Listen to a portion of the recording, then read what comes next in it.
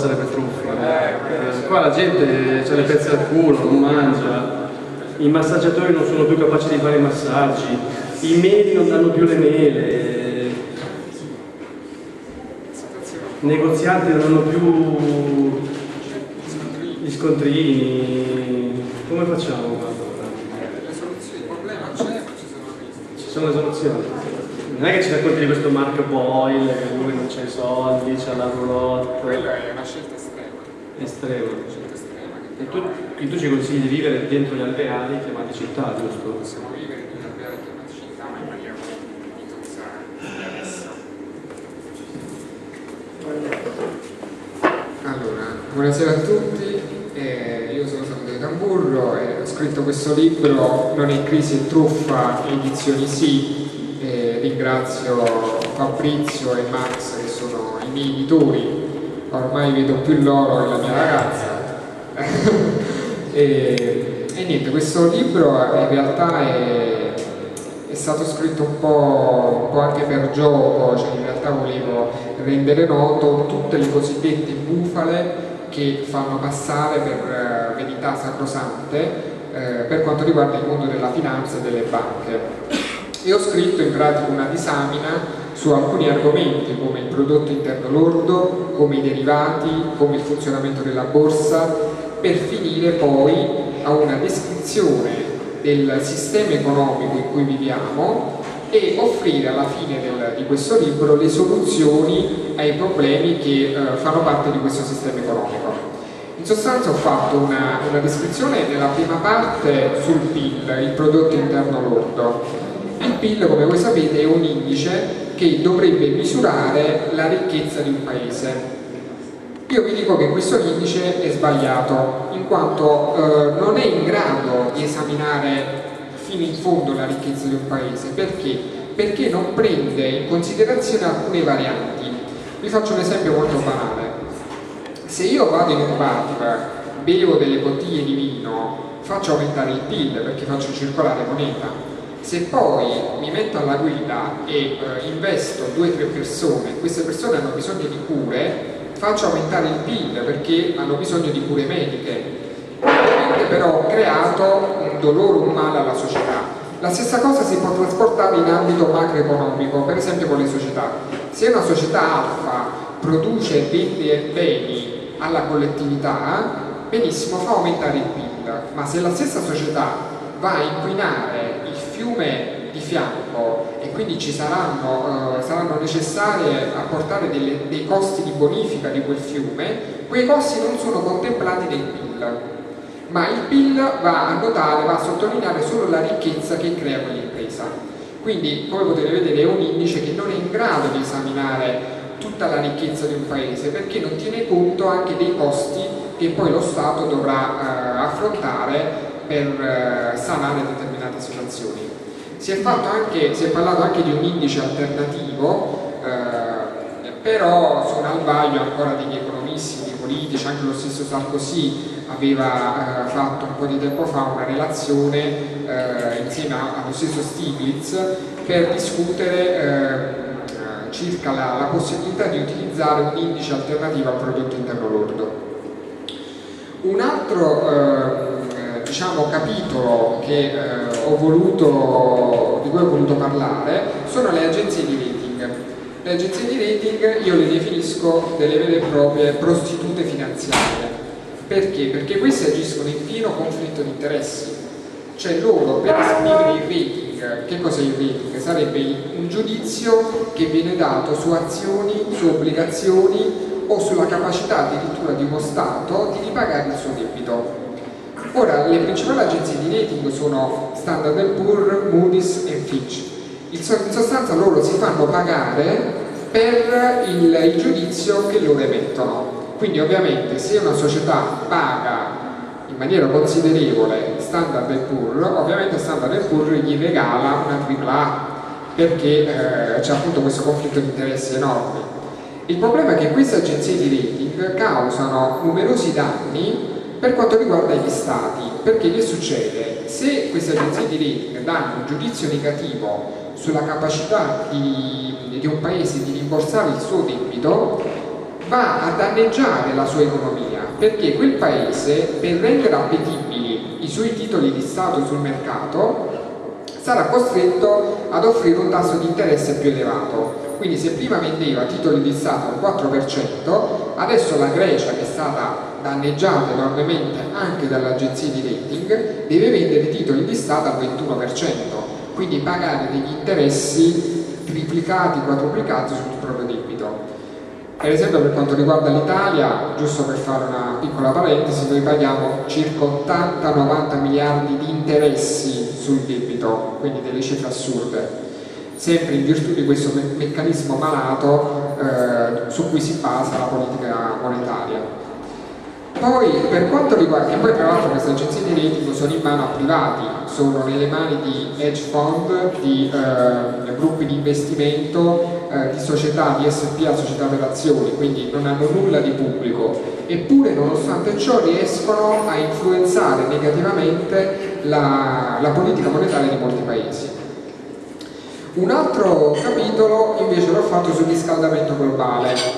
Come voi sapete il il fautore diciamo, di questa teoria sul, sul, riscaldamento globale è Al Gore, vicepresidente degli Stati Uniti eh, sotto Clinton, tra l'altro membro della Trilateral eh, e del Bilderberg, tutte istituzioni sovranazionali che sono state elette da nessun cittadino americano o europeo e eh, lui ha portato avanti questo discorso sul surriscaldamento, cioè basato su che cosa?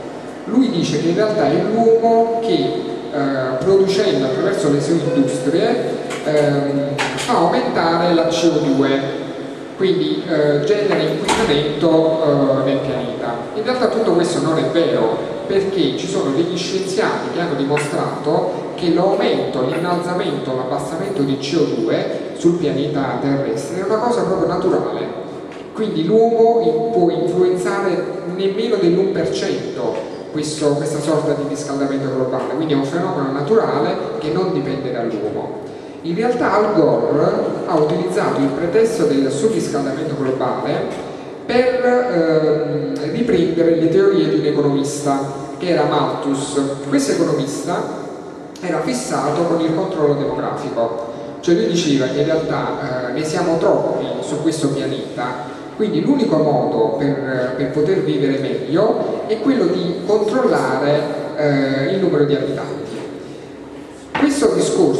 Riferito al controllo delle nascite è un discorso che, eh, di cui ne parla molto spesso il Club di Roma, che è un'altra istituzione sovranazionale come Bilderberg, come Trilateral, che si basa sull'eugenetica quindi in pratica tutta questa teoria basata sui vaccini, sul fatto che eh, la gente si deve ammalare, che poi tra l'altro è un business, eh, il, fatto di rendere sterili le persone per non procreare, tutto basato su queste teorie riprese da Malthus.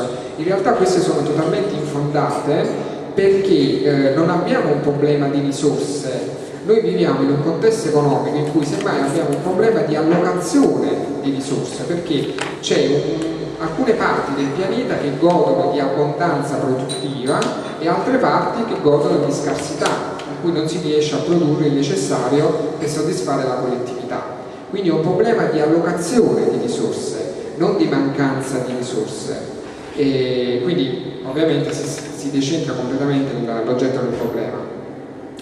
Un altro eh, invece capitolo l'ho fatto, eh, non voglio entrare ora nei dettagli di tutti i capitoli, ti do giusto un accenno, e si intitola I soldi in cassa non ci sono, cioè perché questo è basato sulla riserva frazionaria. La riserva frazionaria sarebbe eh, un modo, viene considerato anche il cosiddetto signoraggio secondario, è un modo con cui le banche creano denaro da nulla, attraverso il giochetto deposito, prestiti, deposito. Per farvi un esempio banale, se io vado in banca domani mattina e deposito 100 euro, la banca ha l'obbligo di tenere a riserva solo il 2% di quella cifra, ossia 2 euro. Dai restanti 98 euro li può liberamente prestare a un correntista che dopo il mio deposito va in banca e chiede un prestito. Attraverso questo giochetto deposito, prestiti, deposito, prestiti, si è stato calcolato che le banche creano denaro dal nulla, quindi con un deposito di 100 euro le banche arrivano a creare fino a 5.000 euro di, uh, di ricchezza in realtà, di denaro, quindi 4.900 euro vengono creati dal nulla. Ora immaginate questo con un deposito di 100 euro, immaginate che cosa succede con un deposito di 10.000 euro, di 100.000 euro e così via. Questo è anche uno dei perché in realtà eh, troviamo nella, nella, collettività che eh, a livello sociale la massa monetaria spesso aumenta a dismisure, noi ci chiediamo come mai avendo questo. Perché appunto creando ricchezza dal nulla c'è troppa massa monetaria in giro e automaticamente si genera perdita del potere di acquisto, quindi la nostra moneta, il nostro salario vale di meno rispetto a un mese fa o a sei mesi fa. Ovviamente ne, ne paghiamo noi le conseguenze perché in una situazione di inflazione abbiamo un aumento eh, generale dei prezzi e una perdita del potere di acquisto della nostra moneta, quindi veniamo profondamente danneggiati. Uh, un, altro capitolo l'ho voluto fare invece sui cosiddetti derivati, che ho definito proprio delle armi di distruzione di massa. I derivati che cosa sono? Sono delle scommesse, delle scommesse finanziarie. Ci sono questi istituti finanziari che scommettono su qualsiasi cosa, cioè se quella società alfa avrà tra un anno un fatturato di un milione di euro, se eh, la Grecia riuscirà o no a pagare il suo debito, quindi sono delle scommesse vere e proprie e le vendono a, al signor Rossi tramite istituti bancari o eh, finanziari vari. Il discorso qual è? Che generano dei danni enormi all'economia.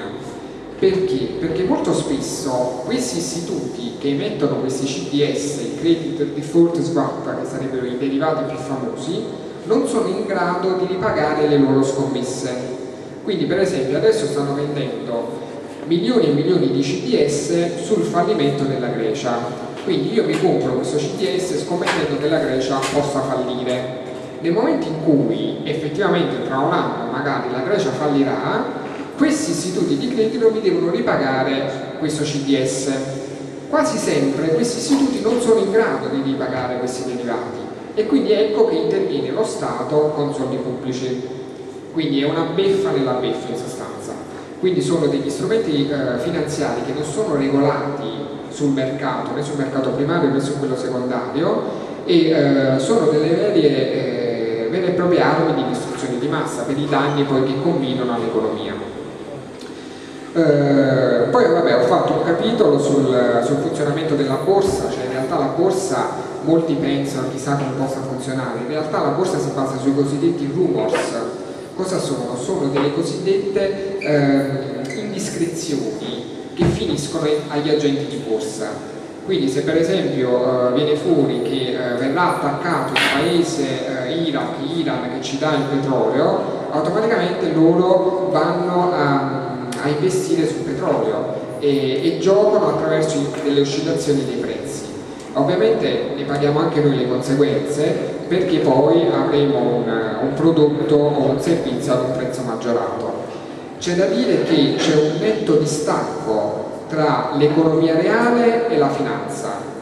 Per dirvi, eh, un oggetto che nell'economia reale viene scambiato una sola volta, nella finanza viene scambiato 20 volte, quindi c'è un rapporto di 1 a 20 tra economia reale e finanza e questo ovviamente causa dei danni enormi alla collettività.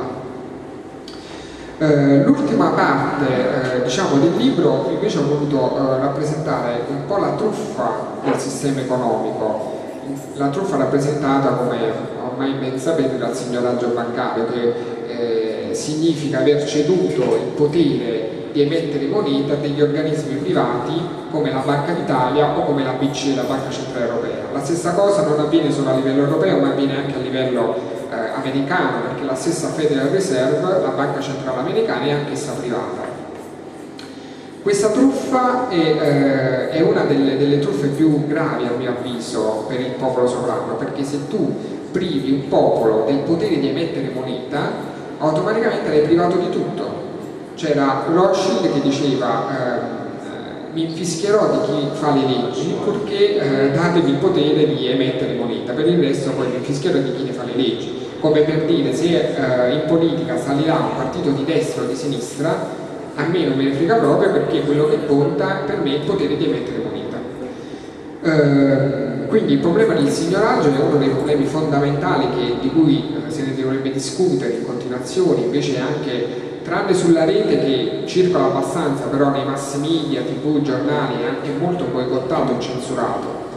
Eh, quali sono le soluzioni? Le soluzioni a mio avviso sono il eh, riprendere il concetto del debito detestabile, che è un concetto fu, eh, di cui ne parlò Alexander Sachs, che era un ex primo ministro russo, e lui disse proprio questo, cioè se una, la collettività contrae un debito ma quel debito non ha portato benefici alla collettività stessa, allora deve essere ritenuto un debito odioso e quindi non pagato. Noi attualmente abbiamo qualcosa come 1900 miliardi di debito pubblico. Se noi volessimo riprendere questo concetto del debito detestabile, dovremmo analizzare in realtà se questo debito ci ha portato dei benefici oppure no. Se non ci ha portato dei benefici, allora questo debito va rinnegato, ossia non va pagato. Però questo non è sufficiente. Ovviamente, unito al discorso del debito detestabile, dobbiamo collegare la sovranità monetaria, cioè dobbiamo restituire al popolo, allo Stato, il potere di emettere moneta. Come fare tutto questo? Istituendo una nuova valuta, quindi distaccandoci dall'euro il prima possibile perché l'Unione Europea ha un fallimento economico vero e proprio, anzi i primi paesi che usciranno dall'euro saranno quelli che ne gioveranno di più, e introdurre una nuova valuta, e quando dico una nuova valuta non parlo di un ritorno alla lira, attenzione, perché se ritorniamo alla lira e la lira viene comunque prodotta dalle banche, no, non cambia nulla in sostanza, siamo sempre soggiogati al diktat dell'oligarchia bancaria. Se invece introduciamo una nuova valuta con un cambio flessibile, non fisso, quindi flessibile intendo che si adatta man mano alla domanda e all'offerta di mercato, e, e viene introdotto in, con un approccio morbido. Per approccio morbido intendo che non dobbiamo obbligare i cittadini a cambiare automaticamente l'euro nella nuova valuta, ma approccio morbido significa che i dipendenti pubblici vengono pagati con la nuova valuta e nello stesso tempo lo Stato deve richiedere il pagamento delle tasse con la nuova valuta. Automaticamente anche gli stessi privati andranno a fare ricorso alla nuova valuta nazionale. Chiarito questo discorso di debito pubblico, debito detestabile, sovranità monetaria, ovviamente possiamo introdurre tutta una serie di eh, strumenti eh, fiscali che possono agevolare la nostra economia, come anche il cosiddetto reddito di cittadinanza, quindi chi, eh, lo Stato dovrebbe provvedere a garantire i diritti basilari dell'essere umano, come il bere, mangiare avere un tetto sotto cui dormire. In un contesto socio-economico come quello attuale tutto questo non è possibile, è possibile solo se dai allo Stato la possibilità di emettere moneta e quindi di garantire queste forme che in Svizzera definiscono con, come assegno universale, anche lì si è discusso per farlo introdurre, eh, poi alla fine la, la Confederazione Svizzera l'ha bocciato eh, dicendo che un, un reddito di cittadinanza del genere avrebbe generato apatia nella collettività. E quindi bisogna fare un po' di attenzione su questa cosa, nel senso che ovviamente non, non va dato un reddito di cittadinanza in grado, in maniera così eh, eh, abbondante, ovviamente deve garantire i diritti basilari, eh, che sono appunto il soddisfare il proprio fabbisogno alimentare e avere un tetto su tutti i dormiti. E, o poi possiamo introdurre eh, altri argomenti come per esempio la democrazia diretta. La democrazia, noi attualmente viviamo in uno scenario politico basato sulla politica rappresentativa, cioè noi votiamo Tizio Caio che poi ci deve rappresentare in Parlamento. Eh, posso fare una piccola parentesi aprendo per esempio un, un richiamo a Perkins Perkins è definito il cosiddetto sicario dell'economia, è un reo confesso, era uno che andava dai capi di Stato eh, dell'America Latina e li andava a ricattare. Con una mano aveva la valigetta dei soldi e con una mano aveva un proiettile. E gli faceva scegliere se essere ricattato con i soldi oppure subire ben altre conseguenze. La maggior parte dei capi di Stato accettavano di essere ricattati. E altri invece come lo stesso per esempio Sankara eh, non ha accettato, Sankara il presidente del Burkina Faso, lui aveva rinnegato il debito del suo paese, manca a farlo apposta i servizi segreti francesi e americani l'hanno fatto fuori. Eh, un altro presidente che aveva cercato in un certo modo di eh, mettere i bastoni fra le ruote all'oligarchia bancaria fu Kennedy. Kennedy istituì per esempio l'ordine esecutivo 11110 e con questo ordine dava il potere agli Stati Uniti d'America di emettere 4,3 miliardi di dollari emessi dallo Stato, quindi non erano stampati dalla Federal Reserve che è una banca centrale privata americana, ma erano emessi dallo Stato, quindi questi 4,3 miliardi non generavano debito. Banca fa l'apposta, tre mesi dopo, quattro mesi dopo a Dallas l'hanno assassinato. Da allora nessun presidente ha più ripreso l'ordine esecutivo 10.110 che attualmente è, in vigore nella legislazione americana ma né Obama né nessun altro mai sognato di riprendere questo ordine esecutivo perché sanno ovviamente la fine che, che potrebbero fare quindi eh, gli strumenti a mio avviso ci sono ovviamente non è facile informare tutte le persone su queste cose ma se capiamo qual è il problema sappiamo anche che esistono degli strumenti validi alternativi per riformare il sistema economico. Ovviamente bisogna riprendere anche il discorso della democrazia diretta, quindi non bastano gli strumenti che abbiamo, basato, noi attualmente abbiamo le petizioni sono, in cui uno può fare una proposta di legge con 50.000 firme, poi alla fine finiscono in un cassetto del Parlamento e nessuno ne discute mai abbiamo i referendum abrogativi, quindi siamo limitati semplicemente ad abrogare una legge che, che purtroppo non ci piace o va male. Anche per farlo questo abbiamo bisogno di 500.000 firme e la cosa più indegna è che questi referendum sono dotati di un quorum. Ciò significa che se non si raggiunge quel quorum, comunque il referendum non passa.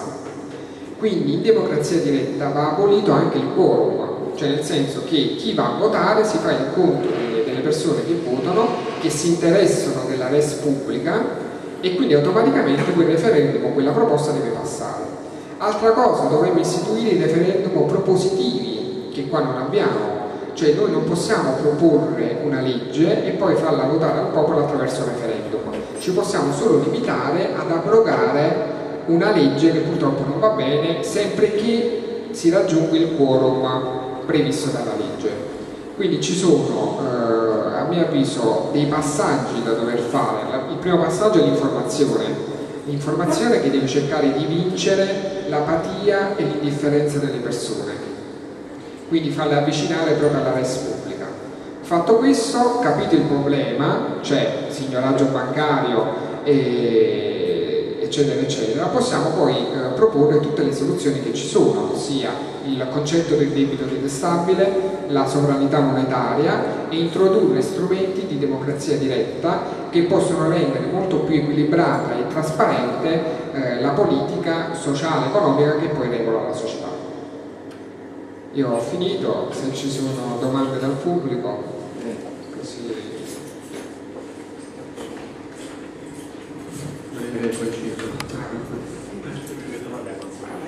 Sì, domande, interventi. Sì, volevo fare una domanda. Aspetta, facciamo qualche domanda. Vai. Allora, per quanto riguarda il riscaldamento globale, chiaramente io sono d'accordo.